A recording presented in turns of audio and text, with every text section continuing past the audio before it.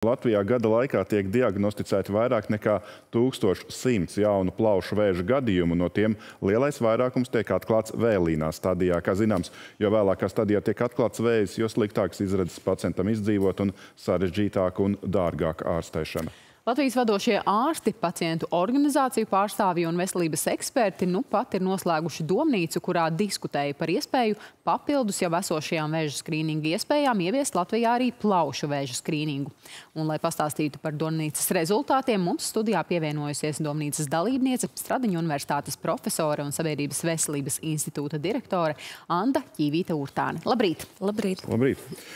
Ierosinājums ieviest plaušu vēža skrīningu, protams, šķiet pamatots, redzot arī tos saslimšanas rādītājus, bet, nu, kā parasti viss atdurās pret naudas jautājumu, vai jums ir arī aprēķini šajā domnīcā tapuši, cik liels finansējums šādai programmai būtu nepieciešams, un vai to maz ir šobrīd reāli īstenota mūsu nabadzīgās veselības sistēmas apstākļos? Jā, konkrēts aprēķins es vēl nenosaukšu, bet uh, runājot par, nu, vai ir iespējams ieviest kaut ko jaunu nabadzīgas veselības aprūpas sistēmas ietvaros, protams, ka šim, šis apgalvojums ir vietā vai jautājums, bet jāsaka, ka um, Tas ir arī viens no mūsu domnīcas rezultātiem, proti atziņa, ka, jā, protams, šajos apstākļos tādas liela izmēra um, izmaiņas uzreiz ieviest ir grūti, tāpēc mēs esam vienojušies par to, ka um, šīs izmaiņas ir panākams pakāpeniski. Proti, attiecībā uz šo plaušu vēža skrīningu ir doma ieviest pilotu projektu. Proti, no sākuma izmēģināt, kā tas strādā nu, kaut kādā nelielā lokalizācijā. Mēs par to vēl neesam vienojušies, vai tas būs atsevišķās pašvaldībās vai atsevišķās, caur atsevišķām ģimenes ārstu praksēm. Bet tātad pamēģinot, tad mēs arī šeit redzēsim nu, tos resursus, kas ir nepieciešami gan cilvēku resursu ziņā, gan arī finanšu resursu ziņā. Un tādu kā otro pakāpi domāt par to, kā to ieviest, ieviest nacionālā mērogā. Man īstenībā šī te, nu, jaunā pieeja liekas ļoti pievilcīga, jo nu, nu, es strādāju veselības aprūpas sistēmā jau 11 gadus. Un vienmēr ieviešot kaut ko jaunu, ir tas, ka nē, vai to vajag, vai tas būs labi, cik tas maksās, vai vai tas īsti strādās. Un uz šiem jautājumiem parasti nav labas atbildes, tāpēc ir ļoti labi pamēģināt. Tāpēc šī nu, tāda nosacīta jaunā pieeja par pilotu projektiem man liekas ļoti adekvāta mūsu situācijai. Ir termiņš, kad šis pilotu projekts varētu sākties? Mm, pēc iespējas drīz, bet datums es arī nenosaukšu vēl. Nē, jā. mm -hmm. nu, plus šādās situācijās, man liekas, vienmēr tiek pieminēts arī tāds kaburtais loks, ka ja mēs šobrīd neatradīsim naudu, lai to ieviestu, tad pēc tam to situāciju glābjot jau kritiskā situācijā situācijā un pie kritiskiem stāvokļiem mēs tik un tā to naudu samaksāsim, un tas iespējams būs vēl dārgāk. Nu, mm, tas, ko jūs sakat, tā ir nu, tāda sabiedrības veselības teorijas, es teiktu, viens no vaļiem. Jā, jo profilakse un skrīnings ir sekundārā profilakse, kuras mērķis ir agrīni diagnosticēt, tad, kad cilvēki īstenībā vēl var izārstēt. Jā, tas vienmēr ir lētāk nekā pēc tam cīnīties ar sekām, protams. Bet pirms ieviešam jaunu skrīningu, varbūt vērts arī atskatīties, kā, kā tad veicās un kā sevi attaisno jau esošie skrīningi esošajām vēža formām. Jūsu vērtējums? Jā, nu, tas arī ir vēl viens ļoti labs un adekvāts jautājums. Nu, vai mums vajag ieviest kaut ko jaunu, ja jau esošie nestrādā sevišķi labi? Jā, nu, šobrīd, kā zināms, mums ir trīs vēžiem skrīnings, kas ir krūts, dzemdas kakla un kolorektālais vēzis. Un es vairāk strādāju dzemdas kakla vēža lauciņā. Un, nu, ja mēs paskatāmies pagājušā gadā, kāda bija atsaucības rādītāji, tad jāsaka, ka no tām nu, no izsūtītajām vēstulēm tikai trešdaļa sieviešu atsauc šim valsts aicinājumam izmeklēties ja, un, un um, skatīties, vai ir kādi dzemdas kakla vēža riski. Tā, tā atsaucība no iedzīvotājiem, diemžēl, varētu būt labāka. Bet no otras puses, atkal, nu, ja mēs uh, paliekam tikai pie esošā un mēģinam to nopulēt līdz perfektumam, tad mēs pie tā jaunā nekad netiekam. Un, uh, veselības aprūpas sistēma jau arī ir ļoti dinamiska un uh, medicīnā, sabiedrības veselībā ļoti mainās lietas. Ja?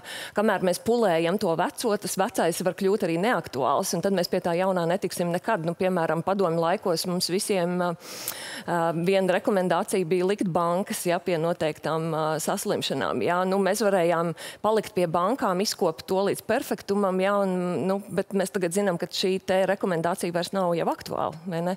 Tāpēc jā, ir jāstrādā pie esošā, bet ir noteikti jāiet līdz laikam un, un, un jāsako šīm pasaules tendencēm. Un otra lieta ir, ka ieviešot kaut ko jaunu, un, kā mūsu gadījumā par plaušu vēža skrīningu, pilotējot kaut kādas jaunas pieejas, noteikti mēs uh, iegūsim arī vērtīgas atziņas, kā, nu, kuras var izmantot arī jau esošo, jeb veco pēdiņās uh, skrīningu uzlabošanā. Nu, jā, un droši vien viedoklis, kādēļ tik maza ir šī atsaucība līdzinājos skrīningos? Mm, nu, droši vien tas cilvēks, kurš to atklātu, dabūtu kādu labu prēmiju, ja? nu, nu, tur ir daudz cēloņu, bet nu, viens no tiem droši vien varētu būt arī tas, ka nu, man liekas, no padomu laikiem mums ir galvā tāda. Uh, nu, tāds pieņēmums, ka par manu veselību atbildīga ir valsts, ka valsts atrisinās. Ja? Bet šeit ir jāstrādā abām pusēm. Ja?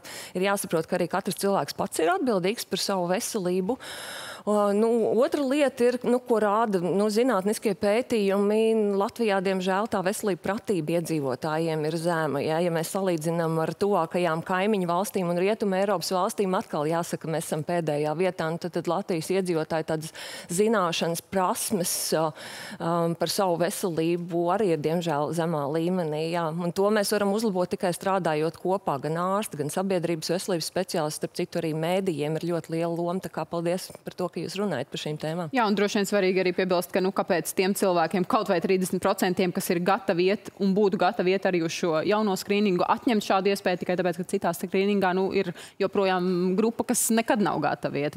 Bet uh, vēl pavisam īsi mēs zinām, ka domlīdzes laikā apspriedāt arī citas veselības sistēmas vājās vietas. Kā jūs teiktu, kas ir tas kritiskākais? Nu, tas, kas izkristalizējās mūsu domnīcā, nu, droši vien tas mums nav nekas jauns.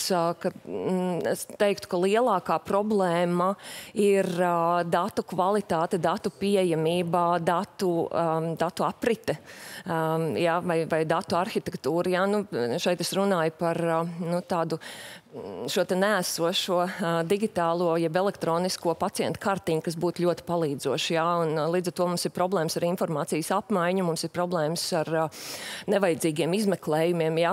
Nu, un, un šis, šī arī būtu nu, viena no lietām, kas ietaupītu veselības aprūpas budžetu, jā, runājot ar kolēģiem, piemēram, ģimenes ārstiem. Jā, kad mums ir daudz tēriņu veselības aprūpē, bet mums nav pieejama informācija, piemēram, par visiem izmeklējumiem, ko cilvēks ir veicis un tam līdzīgi. Tā kā gan gan, gan pašu, pašas tās digitālās nu, teiksim, arhitektūras uh, problēmas, gan arī tiesiskie aspekti. Jā, un šeit mēs nonākam pie, pie tās, nu, kas nav, pie jaunā koncepta, nu, kas nav nemaz tik jauns. Viņš īstenībā pastāv Eiropā jau no pagājušā gadsimta, ja tā var izteikties, par veselību visās politikās. Proti, šīs problēmas nevar atrisināt veselības ministrija viena pati kā resurs. Ja?